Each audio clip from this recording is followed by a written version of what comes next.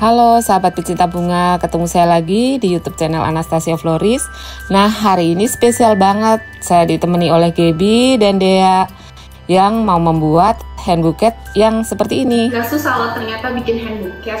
Uh, not perfect sih, but oke okay lah gitu. Bunga-bunganya juga bunga kesukaan aku. Di sini ada lili, ada kaspea. Gampang loh ternyata bikinnya. Kalian bisa coba sendiri di rumah. Jangan lupa ikutin video tutorialnya ya. Nah, kalau punya aku kayak gini nih, bagus juga kan? Yuk ikutan buat. Mau ikuti keseruannya? Yuk, kita bikin bareng. Untuk mempermudah bunga dirangkai, saya menggunakan oasis yang dibungkus dengan plastik seperti ini. Saya di sini menggunakan bunga kristal berwarna ungu, beberapa tangkai bunga mawar, lalu uh, diselingi dengan bunga pengisi, ada carnation, dan untuk mempercantik saya menggunakan bunga caspea.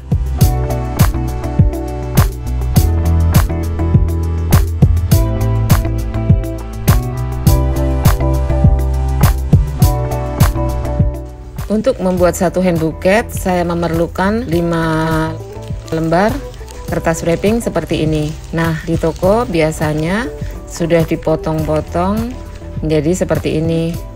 Nah, kita bisa memilih warna, berbagai warna yang ada sesuai dengan bunga yang ingin kita wrapping. Yang tiga lembar kita potong menjadi dua, menjadi lebar seperti ini. Lalu yang satu lembar kita potong menjadi empat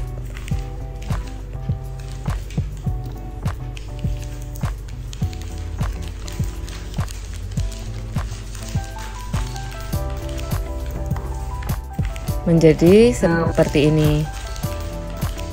Nah, kertas yang pertama kita lipat seperti ini. Kita taruh bunga di bagian tengah.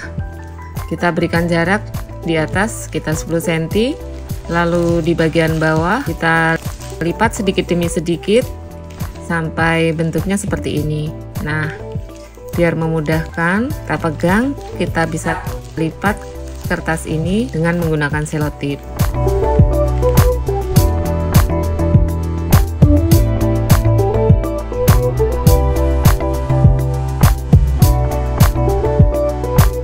Nah, selanjutnya kita ambil kertas yang tadi kita potong menjadi dua, kita lipat sedikit seperti ini.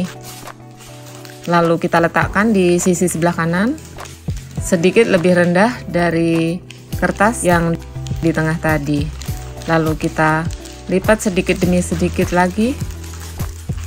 Kita kerut seperti ini. Nah, kita lakukan yang sama untuk yang di sisi sebelah kiri.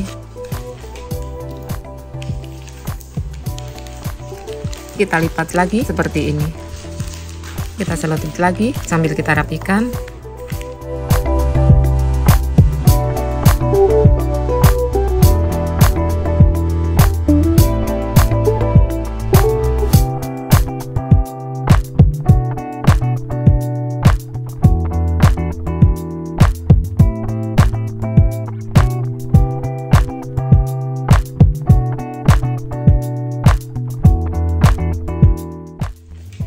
Berikutnya kita ingin menutup di bagian depan ini. Kita menggunakan kertas yang tadi kita potong menjadi empat. Kita lipat menjadi tiga seperti ini. Biar mudah kita pasang, kita lipat semuanya, kita selotip dulu.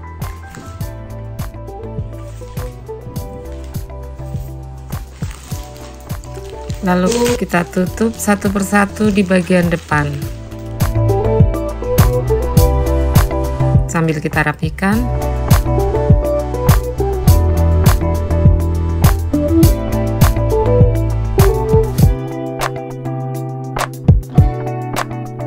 Selanjutnya kita mengambil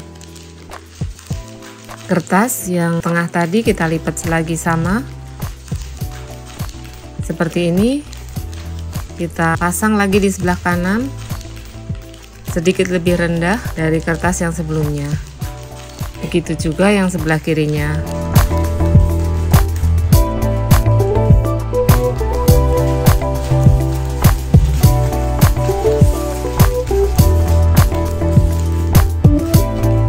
Kita ikat lagi dengan selotip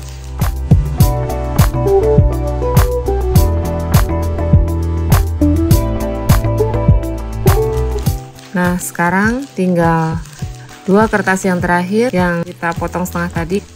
Kita lipat sedikit.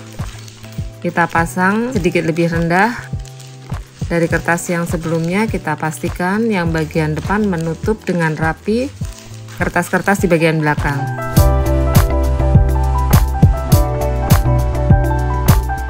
Dan satu lagi di sisi kiri sama, kita lipat sedikit